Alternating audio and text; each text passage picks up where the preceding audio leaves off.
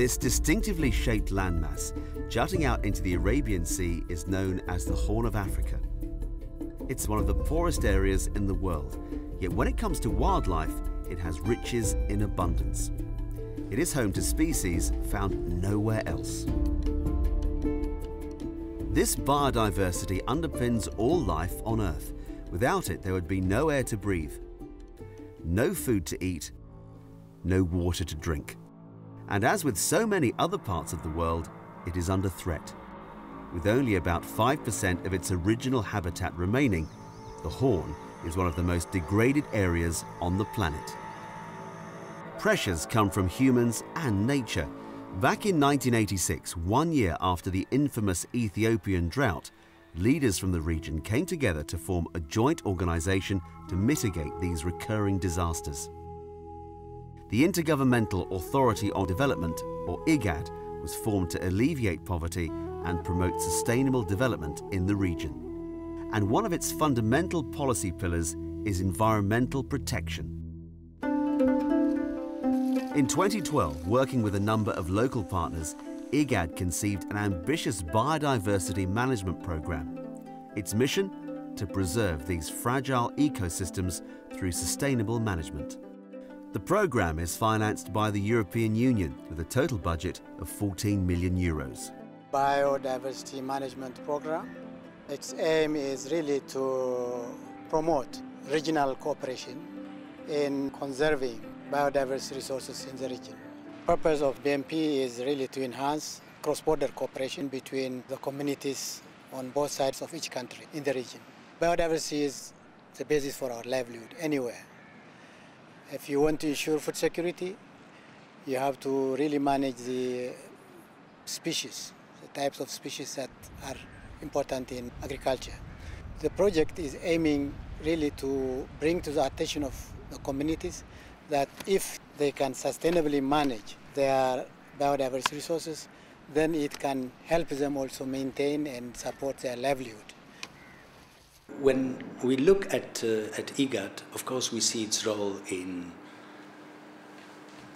peacemaking, in stability, in economic cooperation, in uh, facing most important challenges related to economic development, but also to eradication of poverty and, uh, of course, uh, strengthening of uh, interstate cooperation, transboundary cooperation, and uh, the regional integration as a whole. We consider IGAD uh, as a very promising project. And we believe that it's an organization that can potentially really contribute to the integration of the Horn of Africa. Like so much of Africa, national borders created by previous colonial powers gave little regard to its landscapes or ethnicities of its people. So decisions made centuries ago have negative impacts which are felt to this day. But IGAD considers ethnic continuity across national borders a positive strength.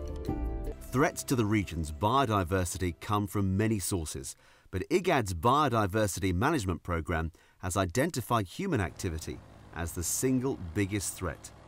There are a number of threats on biodiversity in the region.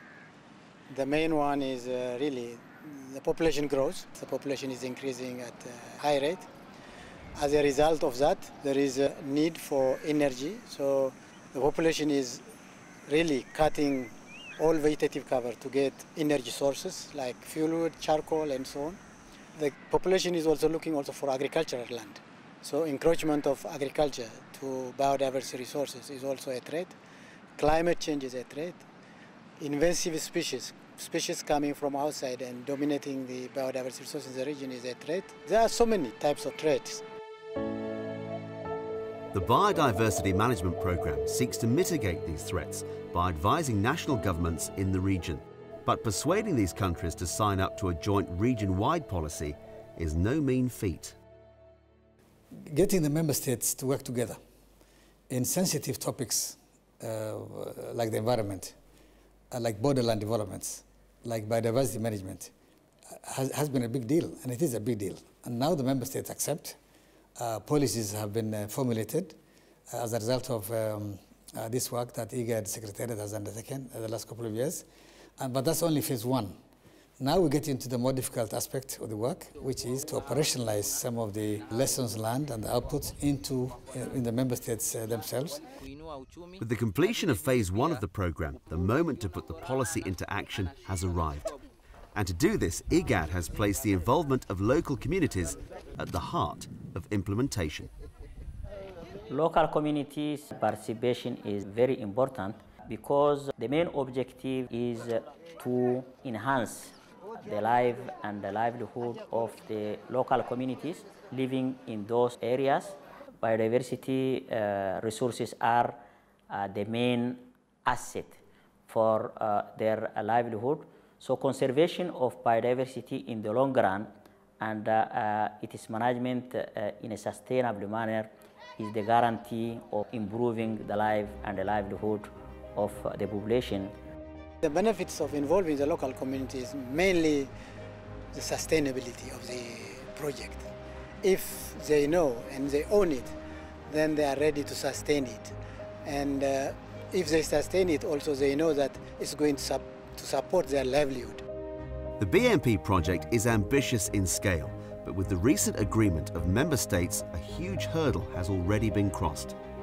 And in the years ahead, the need to sustain cross-border cooperation will underpin every aspect of this work. To find out more about IGAD's work, the following films highlight locations where the Biodiversity Management Programme is now in operation.